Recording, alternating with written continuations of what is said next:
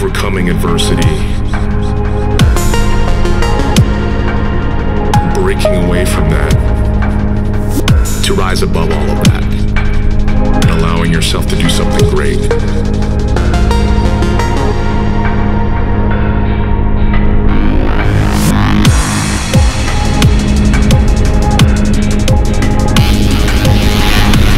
Allow yourself to become what it is to become.